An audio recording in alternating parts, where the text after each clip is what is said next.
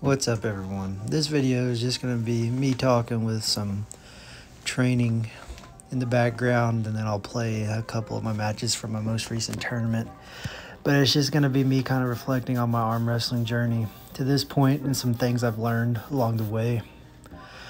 First off, I started with arm wrestling in 2014 when Game of Arms started.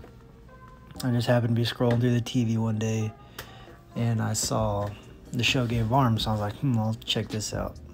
Had no idea professional arm wrestling was a thing. And it was just kind of an eye opening experience watching it. But immediately, the first episode or two had me hooked, literally and figuratively, I guess. And I haven't looked back since. Watched that, the whole series, 10 episodes that summer.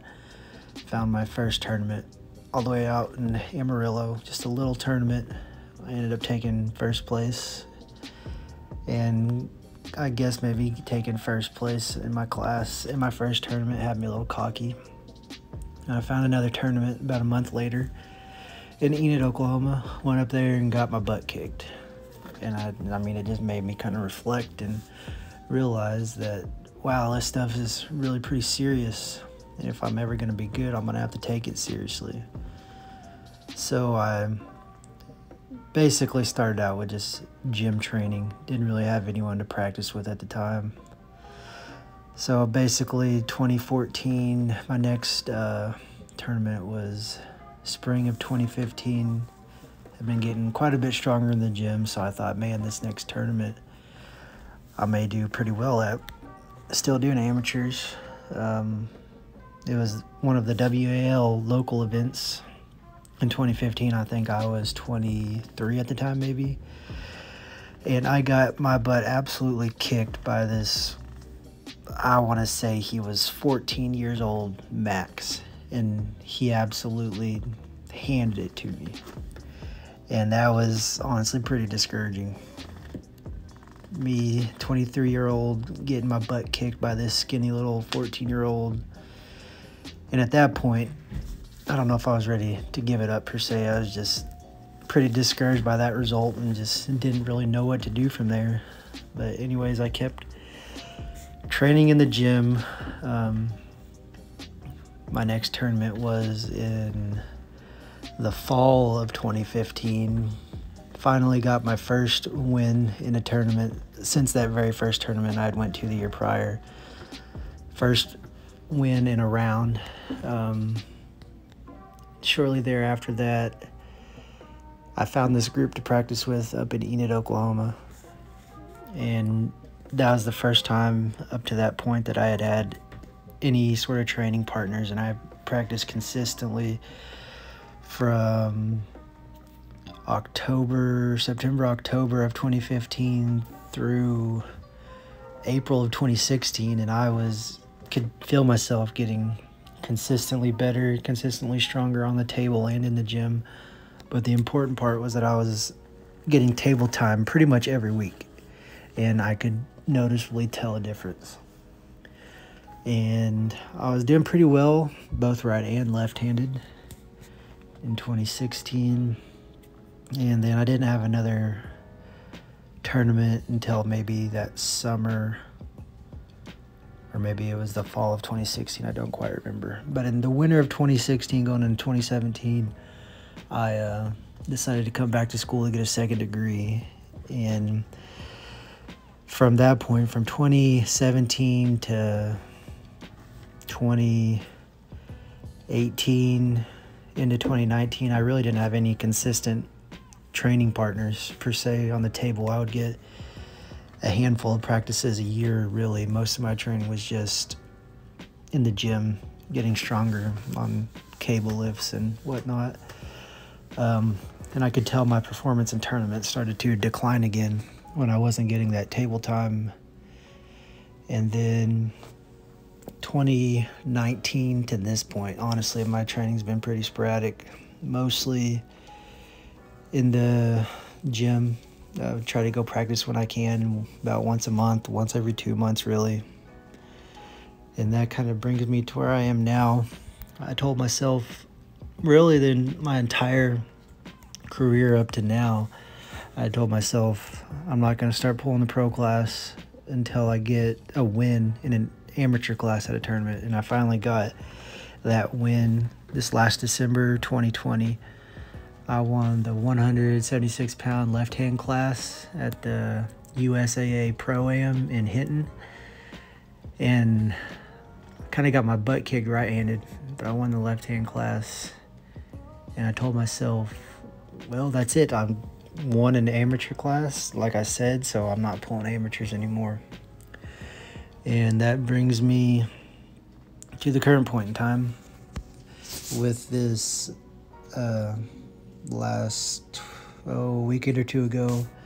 My first uh, tournament pulling the pro class is the event with the Fatal Four Way with Chance, Chance Shaw, Don Underwood, Aiello, and Jordan Sill. That was the first tournament I pulled pro class, and as you can see by this footage, I got absolutely worked. Yeah, I was one of those guys that pulled amateur classes for years. Um, I mean, I was in and out of the sport. I was never consistently practicing except for that one stretch from fall of 2015 into the spring of 2016. Just in and out, never consistently practicing. So I just never felt prepared really to pull pro class. Which brings me to the biggest takeaway from this video I want y'all to get is to be successful in this sport, you have to become comfortable with being uncomfortable. It's the only way to progress in this sport. As you can tell in both of these pulls, I was extremely uncomfortable. Just gripping up with this guy right here, I was uncomfortable from the get-go. The moment I put my elbow down on that pad, just his hand, just everything intimidating. And I just wasn't really ready for it. Same way with this guy right here. I had pulled him uh, a couple years back, I think. He'd beat me right-handed, and I thought this was my chance to get revenge. He had one of those no-load setups, which I've never dealt with before. So, again, it was just uncomfortable for me. I wasn't prepared for that. I've known for years that I probably should just be pulling the pro class, even though I'm going to get smacked. But I'm never going to be prepared for these types of situations, like a super strong hand like this guy or that no load like the next guy. I'm never going to be prepared for those situations if I keep pulling the amateur class. I just need to step it up and start taking my licks in the pro class. I can learn so much more in the pro class than I could ever learn from amateur class. Which brings me back to my point. To be successful in the sport, you have to become comfortable with being uncomfortable.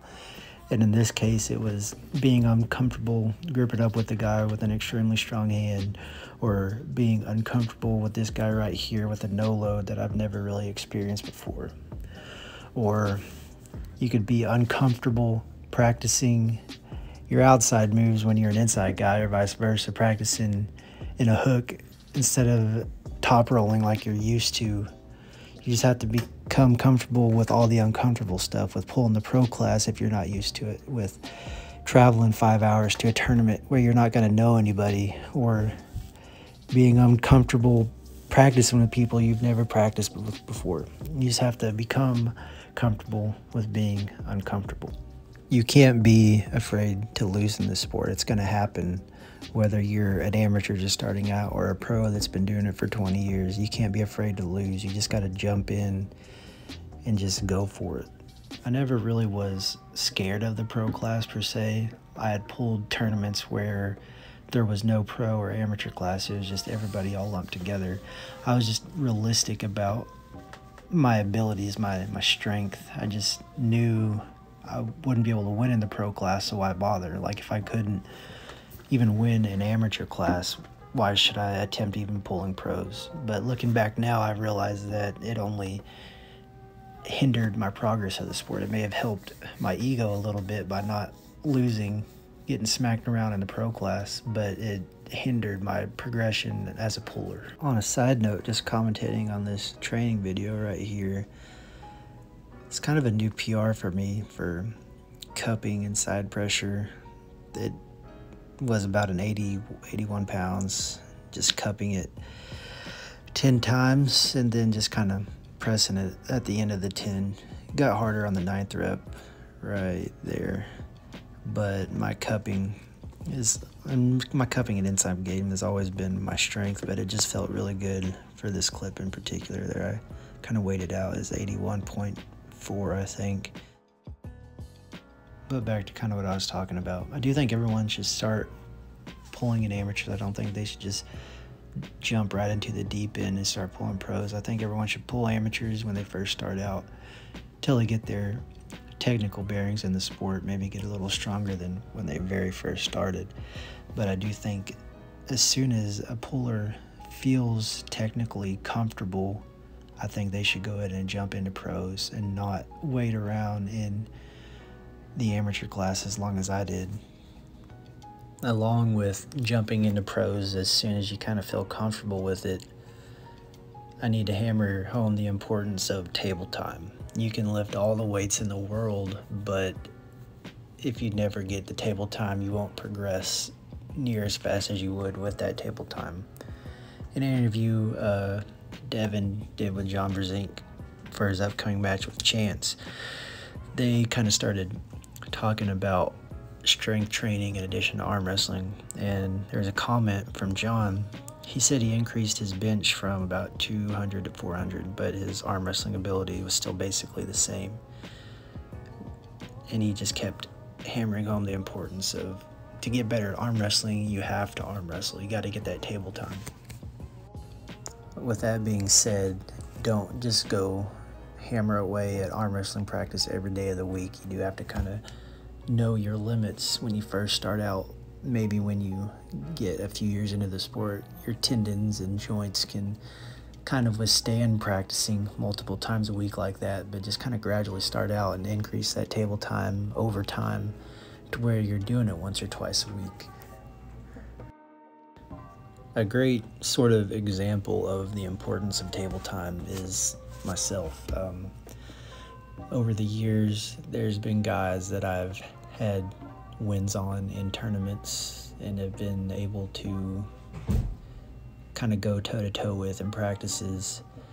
They're competing and doing really well in pro classes against some pretty big name pullers, and I'm just now getting out of amateurs, just starting in pros and getting my butt kicked. And it just makes me think where I could be in the sport right now if I had consistently gotten table time the entire seven years or so that I've kind of been in and out of the arm wrestling world. And really, I have no one to blame for that other than myself. I have hindered my own progression in the sport by not being comfortable with the uncomfortable, by not making myself drive to practices even though the closest practice to me is an hour plus away, I need to make that sacrifice if I ever want to truly start growing in the sport again. I'll go ahead and kind of wrap up my rambling on here with this. Winning now, or the prospect of winning now in the pro class, doesn't seem near as far away as it seemed when I was just starting out in the amateur class. I think for the most part, now I have a lot of the strength I need to compete in the pro class. I just need to get my butt on the table and get that table time, that table conditioning, and start really practicing the, the finer points, the finer movements of the sport that is arm wrestling, all the little technical nuances. I'll just kind of leave y'all with this. It's probably geared a little more towards the, the newer pullers, the brand new or the pullers that have been in for a year or two. I've said it a bunch in this video and I'll say it one more time. Get comfortable being uncomfortable. Once you get your technical bearings in the sport, once you've pulled amateur class a couple times and kind of understand how tournaments are ran, go ahead and jump into the pro class. Don't be like I was for so long pulling the pro class is how you get better in the sport. You learn so much more from losses in the pro class than you'll ever imagine learning from a win in the amateur class. So get out there, practice as much as your body can handle, be smart about it. Supplement your table time with some strength training. Don't supplement your strength training with the table time. Table time is most important. That's how you're going to progress in the sport.